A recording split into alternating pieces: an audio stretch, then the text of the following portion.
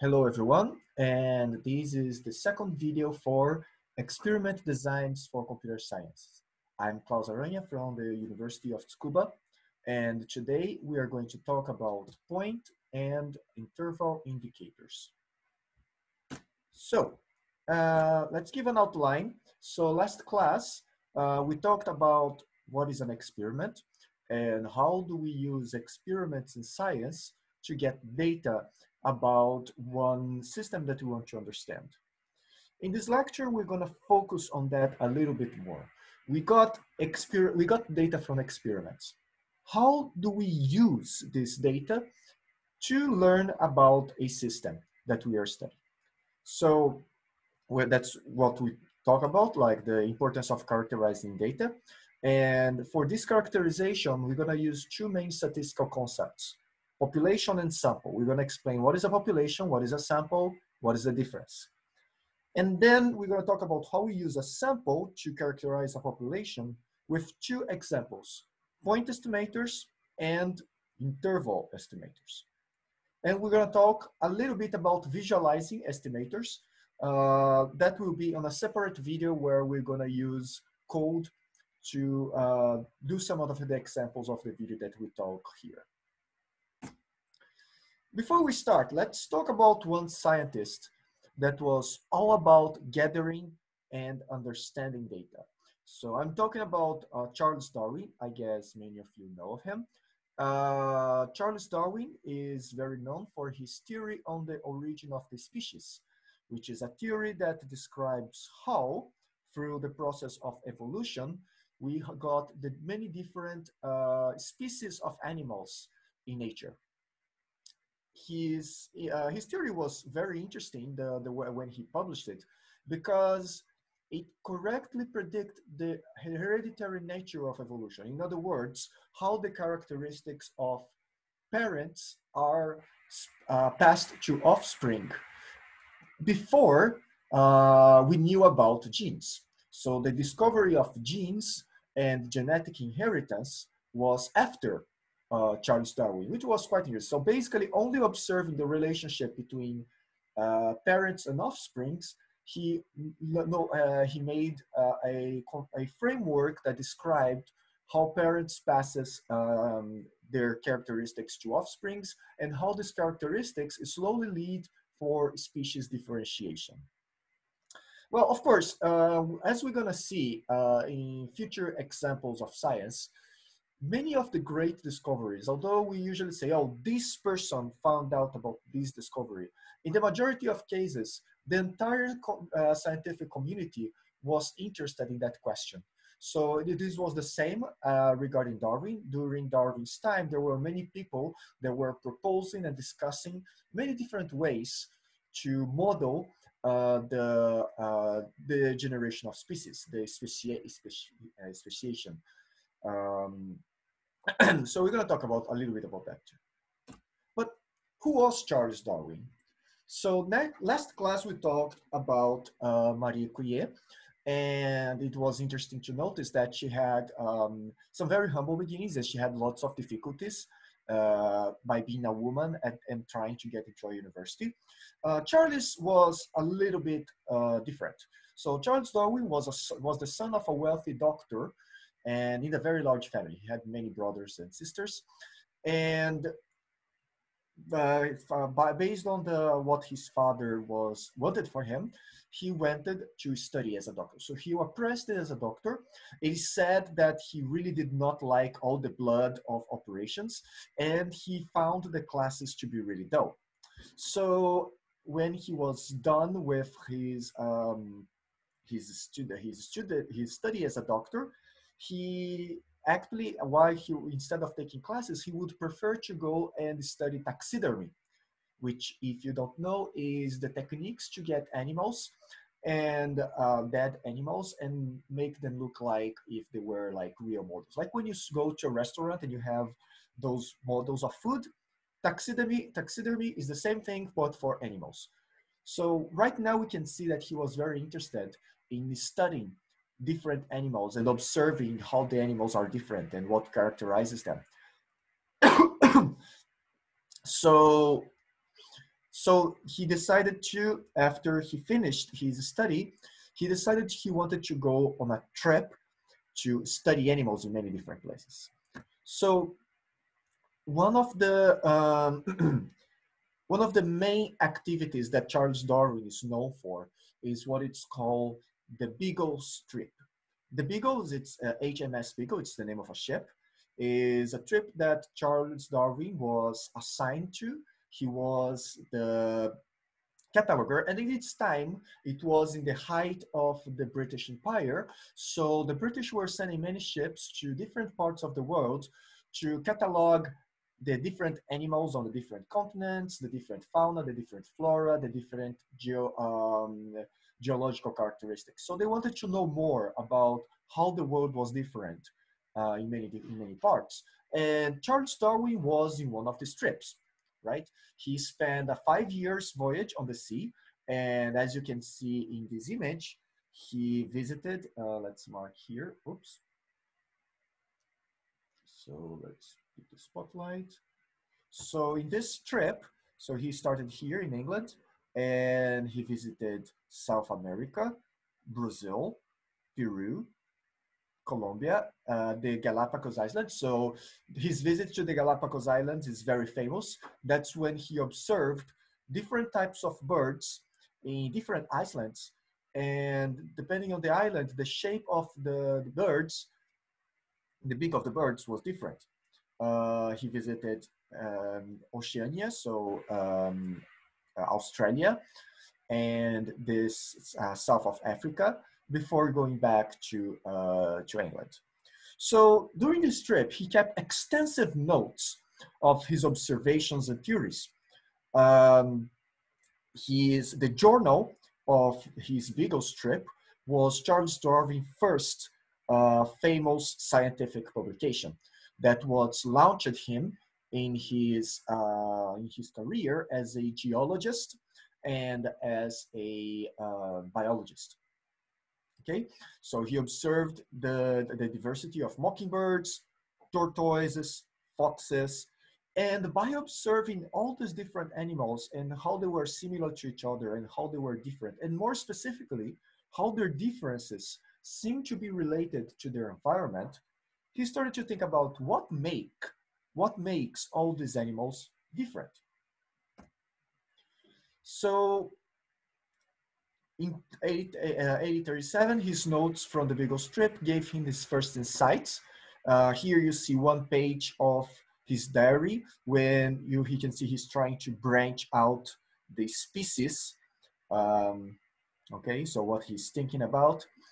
And based on these ideas, he did not only thought about it, he said, okay, if this is true, maybe I can see this happening in other situations.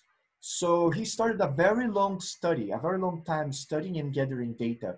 He took a lot of data from breeders, both of animals and from broad, from farmers. So uh, we, of course, there is the natural evolution, but we also use artificial evolution when, for instance, breeders take the biggest uh, corn, for instance, the biggest plants, and replant them so they become bigger and then replant them. And the same thing happens with dogs. So breeders take dogs that have, if they want to breed dogs for hunting, they take dogs that have good hunting qualities and breed them together. And these qualities become more accented. And they have also uh, quality, um, how do you say? They also have qualities for, um, if you want that is a dog that is small, or a dog that is cute, you can breed them similarly. So he was based, all this information he was cataloging over 15 years. And eventually, after all of that, in 1859, so that's more than 20 years from the end of his Beagle trip, he published his famous book, The Origins of the Species. Uh, if you have the chance, I really recommend that you can get this item, this book. Uh, it's available in Project Gutenberg. Project Gutenberg is a website where you can download very old public or very old books that are already in the public domain. And the origin of the species is very interesting because it's a book that is very focused on describing over and over and over again how Darwin saw evolution in many different uh, in many different contexts. So he shows how evolution works with breeding dogs, how evolution works with birds, how evolution works with plants, and over and over again he observes the same thing. So his um, science was basically saying, look, here's my theory, and here is how I saw it here, here is how I saw it here, here is how I saw it here. And even we last time we talked about falsifiable theories. Towards the end of his book, he describes, he was very careful about that. He describes what kind of things we could expect to see if his theory was not correct. So if this theory is not correct, you can expect to see these kind of things, or these are other information that these are other things he was that you could expect to see, like the intermediate uh, creatures uh, in the fossil record. So it's a it's a very interesting book, and one of the things that I find very interesting about the origin of the species is that Charles Darwin knew that his theory was he was afraid that his theory would be controversial at the time. So he was very careful. He took over 20 years to gather information to publish his book. And actually, he kind of only published his book because his friends that he communicated, the other scientists that he communicated, gave him the uh, incentive that he needed. So there are many letters cataloged between Darwin and especially uh, Huxley, who was another scientist that Darwin talked about him, uh, uh, uh talking to a lot of time, but also other scientists that were contemporary to Darwin. And they were like, no, no, this, you need to publish this. This is important. I said, uh, okay. So he published almost when he was like very, his health was very bad. He was an active scientist in other fields, even though during his 20 years, he kept cataloging other uh, discoveries. He kept cataloging other types of animals and publishing about his catalogs. So he was extremely active in that area. But his Origin of the Species book, although he had the initial idea in the beginning of the career, it was only published towards the end of his career um, because of all this, um, how do you say, this carefulness. So it's a very interesting, uh, very interesting take about how sometimes uh, to find something new and important, you need to carefully catalog different kinds of data, carefully consider how we're going to publish, how we're going to present it to other people. And we're going to do that a little bit here when we talk about how we use data from samples to describe a population that we have to learn more about. All right, uh, a quick note before we start the lecture. Uh, starting from this lecture, we are going to give many examples in code about how to calculate some of the uh, concepts that we are going to talk about. So in the next video, I will show some coding examples and all these coding examples use the R programming language. Now, the R programming language is not something that you normally learn in computer science courses, but it's not a very difficult language to learn. It's a language that is very specific towards statistical analysis. Uh, it has a very large number of libraries for different statistical tests, uh, different ways to present data, different ways to pre-process data, to process data. So I highly recommend that students that are taking this course to get acquainted to R. Uh, there's a link that you can see here. So R for beginners, it has described the, the main characteristics of the R programming language. And there is a software, R Studio, that can help you get using to programming so let's talk about statistical indicators. Last lecture, we talked about how we use experiments to obtain data. And how can we use this data to gain knowledge about a system? Imagine that you want to learn more about the students of a university. You could take one student, let's say you, and you measure your height. So you are maybe 175 centimeters high. From, so that's an experiment, right? You're looking at the world and you take some information. You measure your height. You did some experiment, you got some data what can you use? What can you learn about the student, the height of all the students in a university from your height? Not much, right? I mean, it's not nothing. For instance, if your height is 175, then at least you know that 175 centimeters is a possible height for students in your university. But you cannot re really learn much more about that. You cannot say that all students have 175 centimeters, right? So from one student height, it is hard to learn anything about the height of the students of the university in general. What would be better is that if we took the height of several students, we can take, for instance, the height of 10 students or maybe 20 students. And we can take the average height of all these 10 students. And okay, so we got the, the average height of 10 students. What's the relationship between the average height of 10 students and the average height of students of that university in general? Is it the same? Is it close? Is it far away? Can we say anything about that? Okay, so we're now talking about a concept of statistics. It's different from probability that we learn in high school. In probability, we have information about a system and we calculate probabilities. Like if a, if a drawer has three black socks and three white socks, what is the probability that we got two black socks if we take socks without looking? Statistics is the, is the opposite. We have a drawer with lots of socks and we take three socks and we got three black socks. So what are the colors of the socks in the drawer? That's the statistics. Okay. Of course, there are many calculations that are similar in statistics and probability, but uh, let's focus on the statistics for this course. And we're going to go right away and talking about two concepts that we're going to use the entire lecture and the entire course. These are the concepts of population and sample. So population is a large set of objects that are inter of interest. So the population is the system that we want to learn. It can be a real set, like I said in the last example, all students of a university is a population, okay? But it can also be a theoretical set. For example, all the possible results of an experiment. Let's say that I want to understand the system of rolling two dices so what is the all possible results of the two dices? Well, one dice can be a one and the other dice can be a one.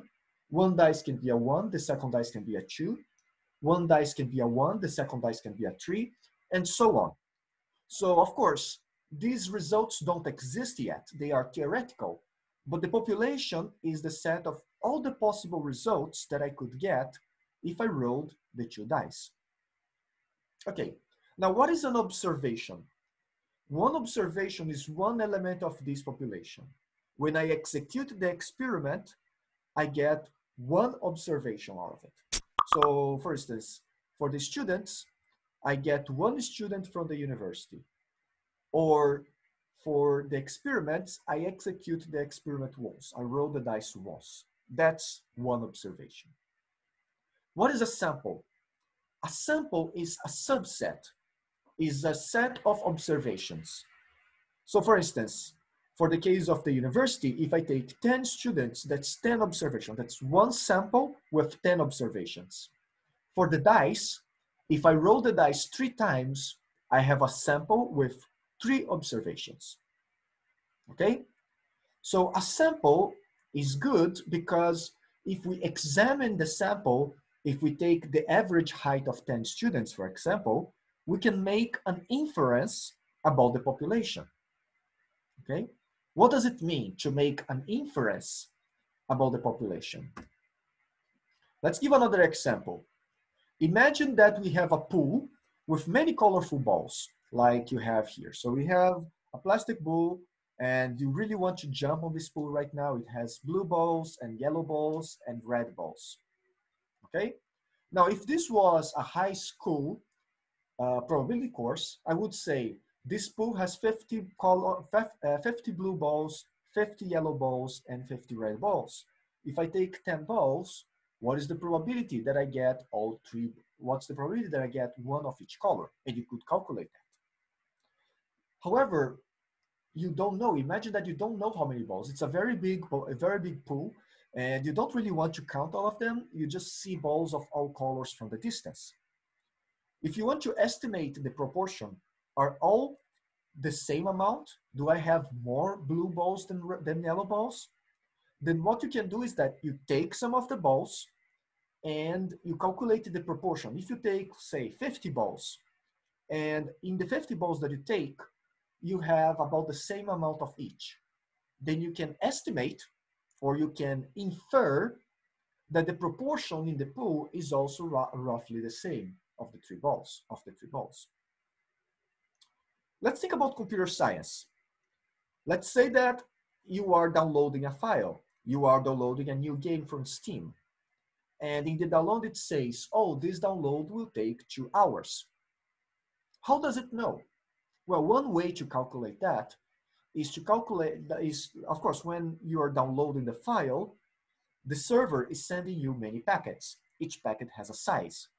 The server calculates how long it takes for one package, one packet to take to reach your computer. Of course, because there is an error, there is a variance, it actually sends maybe 10 packets or 100 packets and calculates the average time. By calculating this average time, it can multiply that by the total number of packets that it needs to send you and make an estimate, an inference about how long the total download would take. Think about this as an experiment and think of from the point of, view of this point of view of experimental design. What could go wrong with this estimate? How could you improve the estimate? Okay, think about it a little bit and then we're gonna go for the next concept. All right, so we're talking about inference of the population. What are we trying to infer? Well, the population is the world, the thing that we want to know about, but we don't know. So for instance, let's say that you are Darwin and you want to learn more. You saw some, uh, you saw some, some fossils of a large dinosaur and you want to know more about this large dinosaur. So what do you want to know? Well, you want to know the parameters that describe this dinosaur. So in statistics, parameters are characteristics of the system that we want to learn. For example, in this dinosaur, we want to know the length. So maybe we estimate from many samples that the length is something between 7.5 and 8.5 meters. So we got many fossils, and by calculating the size of the fossils, we estimate that the parameter length of this dinosaur is between 7.5 and 8.5 meters. And we estimate that the height is between 2 and 2.9 meters. We also estimate that the maximum size from the fossils that we found is 9 meters for the length and 3 meters for the height. We also had other mass, other parameters. We have the mass, the size of the skull, the size of the horns, and the size of the nose horn. So all of these are parameters. A parameter, and usually we call a parameter theta. So a parameter theta of the population is an unknown value that we want to learn by using experiments. Remember that we cannot observe the population directly. So we never know what is the value of the parameter. Okay, so for instance, the average height, the dinosaur has an average height. If we take all possible dinosaurs of this species that were ever born and will ever be born again, so this is a theoretical population, but this theoretical population has an average height. We cannot know this average height, but we can estimate this average height from the samples that we take. Okay, so that's the role of statistics, to estimate parameters of a population.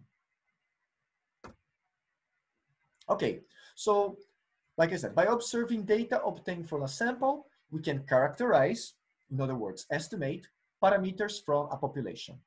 For example, we can calculate the average of the running time of multiple executions of a program and from this average, we estimate the mean running time of the program.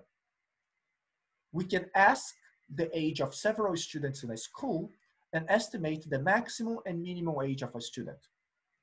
We can estimate the efficacy of a remedy by counting what percentage of patients get better after drinking. So every time that you take some data from a sample and use this data to estimate uh, the, the, the, value of the parameter in the population, we're, do, we are, we are doing, uh, uh, we're doing statistics. Now, we usually say a statistic, okay, and now, so what is a statistic? A statistic is a function, okay? So if we look at these examples, in all of these examples, we're taking data from the sample and thinking a little bit like a computer scientist, we're getting this data and putting this data in a function, and this function will give us the estimate. So for instance, if we look at this third example, we're gonna get our sample, which is, which is patients take a remedy, and we take 100 patients, and for each patient, we take did the patient get better? Yes or no? So we have one, zero, one, zero, one, zero. We get all of this data and we calculate a percentage, which is an average of ones and zeros, right? So this is a function. We're getting this sample and we're putting this in a function and this function will give us an estimate. So this function we're gonna call a statistic. Why is this important? Okay, uh, there are many different statistics that we can calculate in many different situations. Part of your experimental design is to define what statistics you need to learn what you need to learn in your experiment, to learn what you need to learn in your uh, scientific question. So to learn about the efficacy of this uh, remedy, I need a statistic that is the percentage of patients that got, uh, got cured by this disease. Let's say that you have an experiment that you want to know what is the maximum weight that this bridge can hold. So your statistic is some function that from your experiments will calculate this maximum weight. Okay, in this lecture, we're gonna talk about two types of statistics. There are many, we're gonna talk about two here. The point indicator or the point estimate and the interval indicator or the interval estimate okay? So the idea of estimating parameters using information is statistical inference, so inferring information from the population. And we're gonna talk about point estimator and interval estimator. Point estimator are statistics, functions on the sample that estimate the value of a population parameter from information on the sample. Now, interval estimators, they estimate a range of values so if you remember the dinosaur, we had an estimate of the length of the dinosaur that had a minimum value and the maximum value. So that's an interval estimator. On the other hand, when you download a file and it says it's gonna take two hours for their file to download, that is a point estimator. So let's talk a little bit about some point estimators and some interval estimators. Now, Suppose that you want to obtain a point estimate for an arbitrary parameter, let's say mean size. Remember that the point estimate is a function from the sample. But the sample is a random variable. Remember that a sample is a subset of the population that is chosen randomly. So if you take one sample and you take another sample, so your first sample and your first, second sample, they will be different and because your first sample and your second sample are different, the value of the statistic that you calculate from the first sample and the value of the statistic that you calculate from the second sample, they are different. Okay?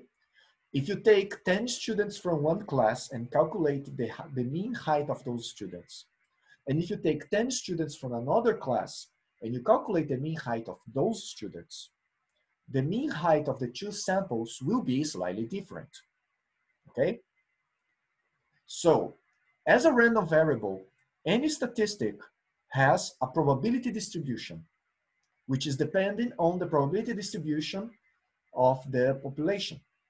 Okay, we're gonna call this the sample distribution. Okay, so when we do statistical tests, we use uh, properties of these sample distributions, which we are going to study a little bit in the end of this lecture and more in the other lectures in this course. okay? For now, uh, let's think about the most, the, the most simple properties. So a point estimator is a statistic which provides the value of the maximum plausibility for an unknown population parameter theta. Okay, let's think about a random variable x that is distributed according to a certain function. So this function x given theta is a function that describes what are the possible values of the random variable x that we obtain is a statistic from the population, given the real value of the parameter. Remember that we don't know theta, okay? So consider now that we sample this variable x. We take, so we take 10, n observations, x1, x2, x3, xn. So we have a sample, and the sample is a random variable. Now, we're gonna define a function theta hat. This is a point estimator of the parameter theta. So a function theta hat is a function on the sample x that give us an estimate for theta. Now the value of this estimate will be theta hat. So what are the properties of this theta hat? Okay, so a point estimator, we can use them frequently in all areas of science. Some examples of point estimators. The mean is a point estimator. You take the value of several value, uh, uh, variables, several, uh, several observations, and you average them, and that will give you an estimate for the true mean of the population. The standard, the population variant is, the population variance is another point estimator. The population proportion is another point estimator. The difference between the mean of two populations is also a point estimator. Okay? In each of these cases, there are many ways to perform the estimation task. And which estimator do you use, as I said before, is based on the mathematical properties of each statistic and also the characteristics of the experiment that you want to do. Okay, notice one thing that is important we are, I, we are always using the word estimate. We don't know the parameter of the population, so we estimate it using a statistic. Why is that? Remember that the statistic is a random variable. If we are unlucky, okay, or if our um, experiment design is careless, or if we are malicious, it's possible to obtain an estimate that is very different from the true value of the population. Let's give an example, okay? For instance, we want to estimate the height of the students of a school. We pick 10 students, that's our sample, and we say that the, the average height is equal to the height of the youngest student in that sample. Now, this is a bad example. Of course, this is not a reasonable uh, statistic, but it is a statistic. Remember, a statistic is a function of the sample. So if I take 10 observations and I choose the observation of the youngest student, that's a statistic. But this statistic in general will give us um, a height, uh, an estimate for the height that is smaller than the true height of the mean because I'm always take the youngest student. So this is a biased estimator. Okay, it's biased towards low values. So we have the concept of error and bias. The error is the difference between an estimate and the true value of the population parameter. Okay, so if I take, if the, if the true average of my, of the height of the students in the university is one is 176 centimeters. And I calculate my statistic, and my statistic says that the average height is 175, then I have an error of one centimeter in my estimate. The bias, on the other hand, so the error refers to one estimate, one sample. I, I took the sample, I calculate my statistic, and I have an error. I don't know the value of the error, but that can be estimated as well. We're going to talk about this. The bias is a systematic error, a systematic, uh, so when I calculate this statistic, systematically, I have estimates that are below the below the true value of the parameter or systematically I have uh, estimates that are above the, the true value of the statistic. So one of the roles of experiment design is to make sure that the statistics that we choose to represent our experiment are not biased. So what is an unbiased estimator? A good estimator should consistently generate estimates that are close to the real value of the parameter theta. There will always be some error because it's a random variable, where, but this error, if this error is consistent, either below or above, so it's it's not like always below or not always above, but it's consistent. It's well distributed. It's uh, it behaves well around the true value of the of the parameter. We say that the the estimator is unbiased. Putting it in a mathematical language, we can say that we have an estimator theta hat, and it's unbiased for the parameter theta if the expected value of this estimator is theta. So the estimator can have an error, but the expected value is theta. Or in other words, the expected value of the estimator minus theta is equal to zero. Now this difference, the, estimate, the expected value of the estimator minus theta is referred as the bias of the estimator. To give an example, let's think about the mean. The mean uh, the average is the usual estimator for the uh, mean parameter of a population. So if we have uh, x1, x2, xn to be a random sample from the population x, and this population x is characterized by a parameter mean of mu and a variance of sigma squared in a normal distribution. So we can show that the expected value of the average of the sample is equal, okay, to the expected value of, so what's the average? We are summing all the values of xi and dividing it by the total size of the sample. And it's possible to show that the expected value of this is equivalent to mu. It's equal to mu okay? So the expected value of taking the average of a sample is the average of the population. That's kind of the definition of average, but it's interesting to know that the average is an unbiased estimator, okay? Remember that the expected value of, why this happened? Remember that our population is characterized by this, okay? We are assuming that the population has a mean mu and it has a variance sigma squared.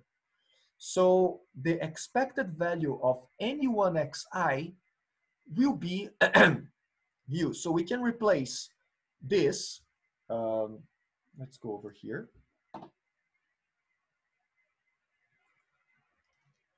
We know that the expected value of xi is mu. That's the definition of the the mean parameter. So if we do the calculation here, we're gonna see, we're gonna take out this sum and we're gonna take out this division and we're gonna see that the expected value of the estimator is also mu. So that tells us that the, uh, the average is a unbiased estimator for the mean parameter.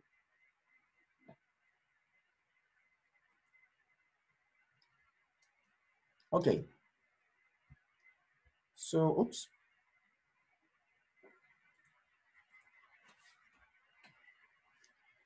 So, uh, of course, for one parameter, it's usually possible to define more than one unbiased estimator, okay? Uh, we could take, for example, uh, in the, instead of taking us, uh, we can take the, the minimum min minus the maximum value of the sample, we take the average, and that also would probably be an unbiased estimator.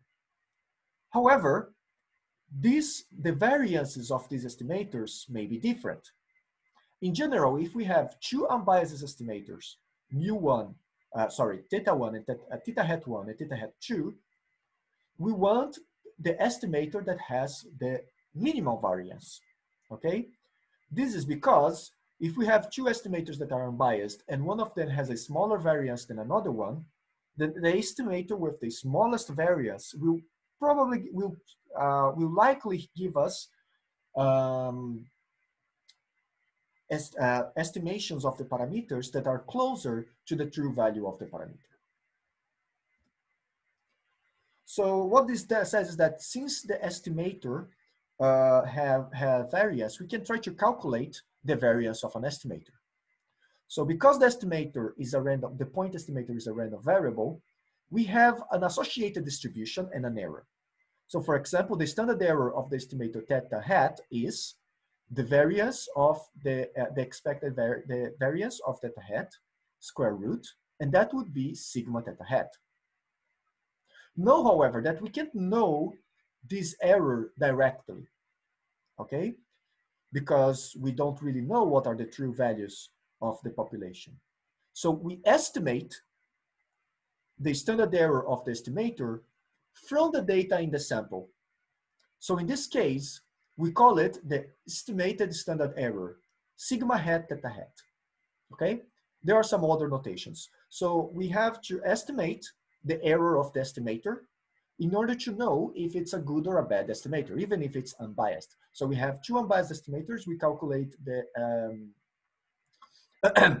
we calculate the, the estimated error for both, and we take the estimator that has the lower um,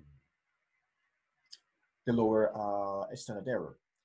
In the case of the mean, for instance, we're gonna see in the next slides, this error is proportional to the size of the sample. So let's give an example. Assume a random variable x from a Gaussian distribution and a sample error s. We can calculate the standard error of several common point indicators. So the estimate of the error for the mean is s divided by square root of n. So we can see that the larger, the larger our sample, the smallest is the estimated error for the estimator. For the error of the variance, we have a similar formula. And for the error of the standard deviation, we have also a similar formula. In all these cases, we see that as the sample size increases, the estimated error of the estimator becomes smaller. So this is one way to justify why we need to have larger sample sizes. Because the more sample, that, the more observations that we have in our sample, the more likely that a statistic calculated from that sample will be close to the true value of the population. Of course, in the extreme case, if it's possible to get all the individuals from the population, then we can just calculate the value of the statistic. But in the realistic case, we want the largest sample that we can use in our experiment. Remember that it also counts cost, and we're gonna talk about this in the future. Okay, let's give a concrete example of how, how this works. Imagine that we have a operation to produce cables, okay? So in this factory, we, we have a cable factory and in the cable factory, the mean uh, resistance of the population, the, the mean re resistance of the cables that are produced is 50 with a standard deviation of two. Okay, so these values, 50 and 2, they are the population mean and the population deviation. We produce the factory with these values in mind. Okay, now we are going to take a sample, uh, uh, of, sorry. Also, another thing about our production is let's assume that, of course, there is an error when we produce this cable, but let's assume that this error is uh, this error is normally distributed. So in general, when we produce a cable, the resistance of the cable will have a value that follows a normal distribution with mean 50 and variance 4, okay? So squared of the population distribution. Now, let's take a sample. Let's say that we're going inspect, we're going to inspect this factory and do an experiment to know if this factory is really following the specifications. So how do we do experiment, this experiment? we take a sample of 25 cables. So we produce 25 cables of this factory, okay? And then uh, we measure the resistance of these cables. Now, the sample mean, so the estimate for the variance of this population will be given by the average of X, so it's 25 cables. So it's the sum of the resistance of these 25 cables divided by 25. Now, this value will not be exactly 50, okay? But it will follow a normal distribution. The expected value of the sample is 50, okay? Because the sample is an unbiased estimator. So we expect that if we take several samples of size 55, the expected value of these averages will be 50. And the error of this sample will be the square root, will be the square root of the standard error of the factory, sorry, the square root of the variance of the factory divided by the size of the sample. So 0.4 omega. Note that the 0.4 is not the standard error of one observation. The standard error of one observation is two, like we saw last slide. The 0.4 is the standard error of the estimate. So when we take as average of 25 cables, we expect a value for this average of 50 with a, with a standard error of 0.4. So much closer, you see, the value of the sample mean is much closer to the true value of the parameter than the value of a single observation. And if this uh, sample was increased, then we would have values for the estimated mean that are closer and closer to the true value of the population.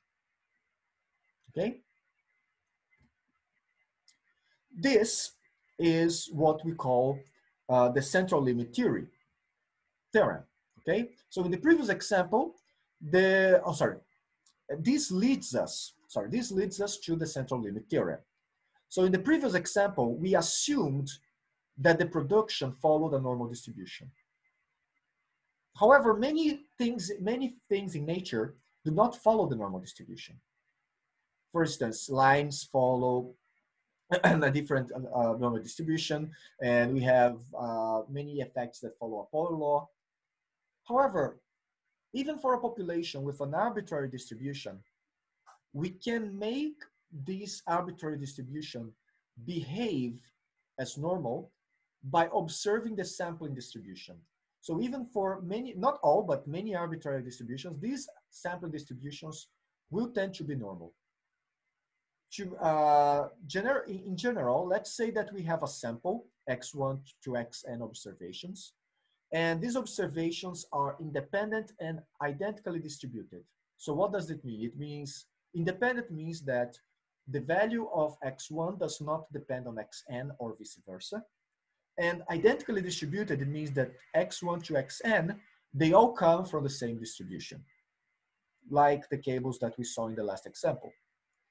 In that case, if we take uh, if we and assume that they have a mean and a variance, even though they are not normally distribution distributed. If we calculate the z value as the sum of the observations minus the mean times the number of the observations, and we divide it by the number of observations times the, the, um, the variance, we're going to have this value z, and this value z can be shown to be normally distributed asympto uh, asymptotically. Okay, so the z of n, when n is big enough, will follow roughly a normal distribution. We can use this property to do uh, to apply statistics that require normal distributions, even in even in effects, even in populations that not necessarily follow this normal distribution. Okay, so this result is what is called the central limit theorem. It's one of the most useful properties for statistical inference, like I said, because it allows us to use some techniques based on normal distribution, even when the population under study is not normal. Okay, for well-behaved distributions, we just need small sample sizes, but large, uh, even not so well-behaved distributions still follow the central limit, limit theorem at large enough sample sizes. There is some uh, related link for you to see uh, some more information about this. Uh, we have, we're gonna have a um, an example of the central limit theorem in the coding video that I will uh, post next. So you can also click on this link to download the R code and test it yourself. Okay, now let's talk about, quickly let's talk about statistical intervals. So until now we talked about point statistics, uh, point uh, estimators. In statistical est uh, intervals, on the other hand, they're used to qualify the uncertainty related to a given estimate. Let's think about the, the, the cable pro production before. We have a, a cable manufacturing operation that has a target resistance of 50 and a standard deviation of 2. Let's assume that the resistant values follow a normal distribution, okay? Now, let's say that we give a sample, again, a sample of 25 observations, and the mean of the sample was 48. Now, given the, vari now, given the variability associated with this sample, it's likely that this mean is not exactly the same as the mean parameter of the population. But we want to know, is it possible to know how far this value is?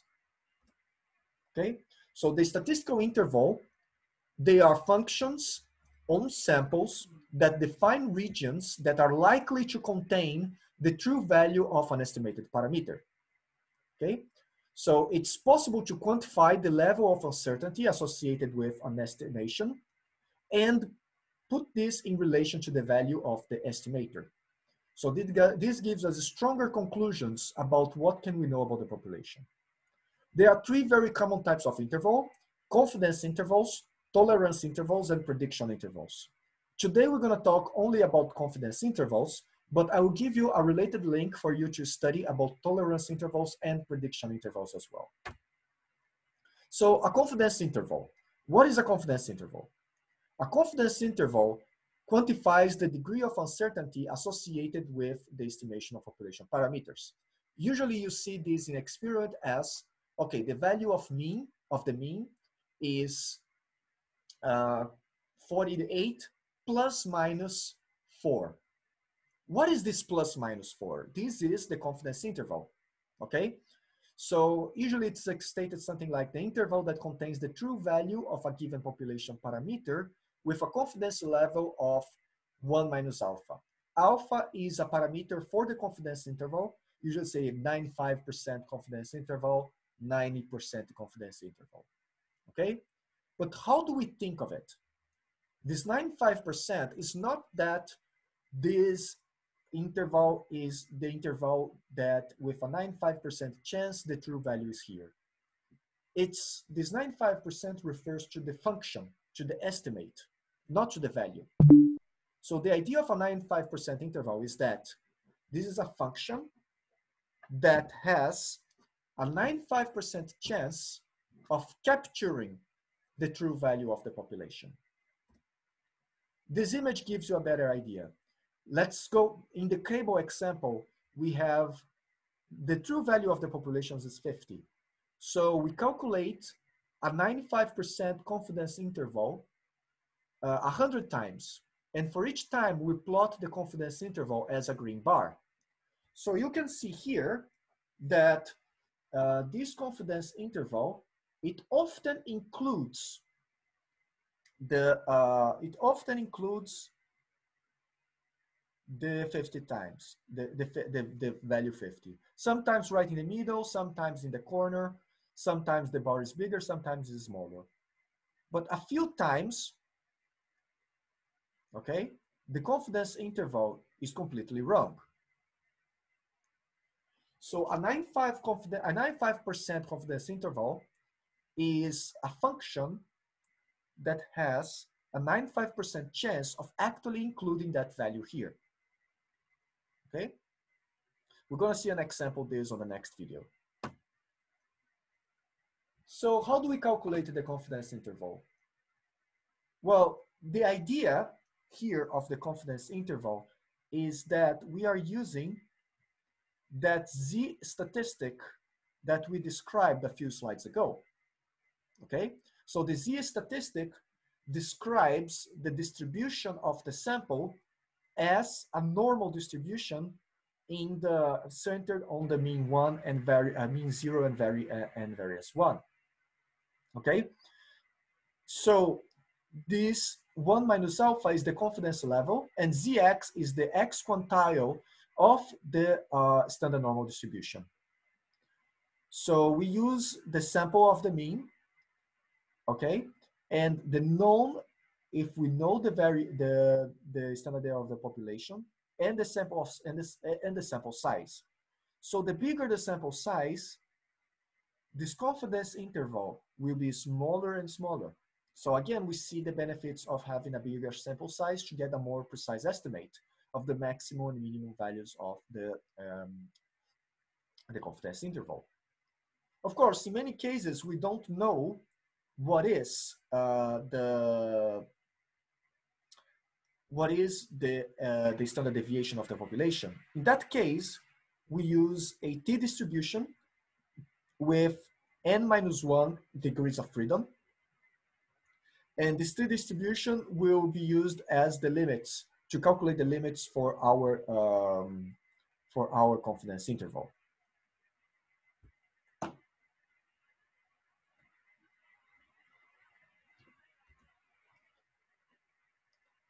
So the two-sided confidence interval on the variance, so that was the standard confidence interval for the mean.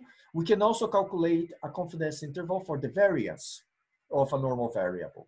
So here we have the error of the sample and we have the variance that we want to estimate. And this variance can be estimated using the chi-square distribution. Okay. Okay, so the idea of statistical intervals is that they quantify the uh, associated uncertainty with the different aspects of estimation. And in general, if you can report statistical intervals for variable, it's better than informing, uh, reporting just point estimates because this gives more information. Not only what is the value that you are estimating for a certain parameter, but also what is the uncertainty associated with that value. Okay? So, in this lecture, we talked about how we use experimental data from samples to learn the characteristics of a system that we want to understand better.